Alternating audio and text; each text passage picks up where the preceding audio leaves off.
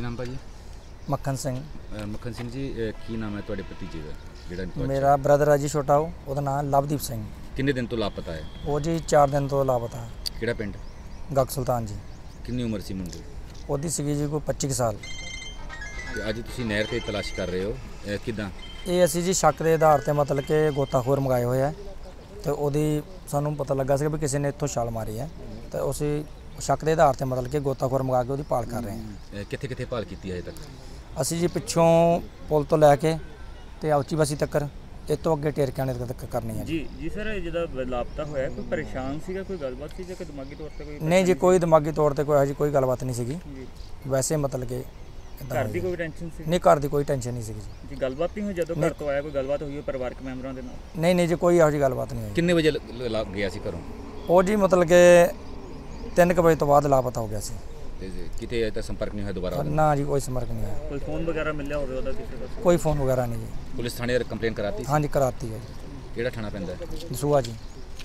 ਕੀ ਮੰਗ ਕਰਦੇ ਹੋ ਪੁਲਿਸ ਪ੍ਰਸ਼ਾਸਨ ਤੋਂ? ਇਹ ਮੰਗ ਕਰਦੇ ਆ ਵੀ ਚਲੋ ਸਾਡਾ ਬੱਚਾ ਸਹੀ ਸਲਾਮਤ ਘਰ ਵਾਪਸ ਆ ਜਾਣਾ ਚਾਹੀਦਾ ਜੀ। ਕਰਾਂ? ਸਰਪੰਚ ਸਾਹਿਬ ਨਾਮ ਕੀ ਤੁਹਾਡਾ?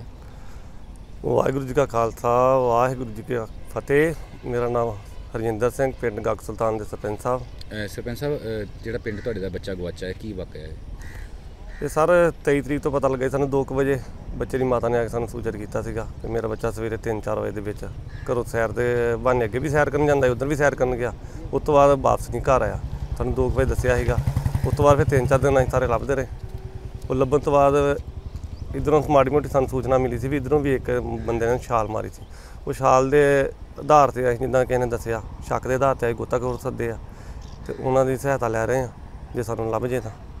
ਡੈਡ ਬੋਡੀ ਜਿਹੜਾ ਇਹ ਲੜਕਾ ਸੀਗਾ ਤੁਹਾਡੇ ਪਿੰਡ ਦਾ ਹੀ ਸੀਗਾ ਕਿਸੇ ਕੋਈ ਟੈਨਸ਼ਨ ਵਗੈਰਾ ਸੀਗੀ ਕੋਈ ਪਤਾ ਸੀ ਗੱਲਬਾਤ ਇਸ ਤਰ੍ਹਾਂ? ਨਹੀਂ ਇਹੋ ਜੀ ਕੋਈ ਗੱਲ ਨਹੀਂ ਸੀਗੀ ਜੀ। ਸਾਨੂੰ ਤਾਂ ਜਿਸ ਤਰ੍ਹਾਂ ਪਰਿਵਾਰ ਨੇ ਦੱਸਿਆ ਉਸ ਤਰ੍ਹਾਂ ਹੀ ਅਸੀਂ ਨਾਲ ਆ ਗਏ ਆ ਜੀ। ਕੀ ਮੰਗ ਕਰਦੇ ਹੋ ਤੁਸੀਂ ਪੁਲਿਸ ਪ੍ਰਸ਼ਾਸਨ ਤੋਂ? ਅਸੀਂ ਇਹ ਮੰਗ ਕਰਦੇ ਆ ਵੀ ਜਾਂ ਸਾਨੂੰ ਉਦਾਂ ਵੀ ਕਿਤੇ ਮਿਲ ਜੇ ਤਾਂ ਵੀ ਠੀਕ ਹੈ ਜੇ ਡੈੱਡ ਬੋਡੀ ਮਿਲ ਜੇ ਸਾਡੀ ਸਹਾਇਤਾ ਹੀ ਕੀਤੀ ਜਾਵੇ। ਪਰਿਵਾਰ ਇਸ ਟਾਈਮ ਬਹੁਤ ਪਰੇਸ਼ਾਨ ਆ।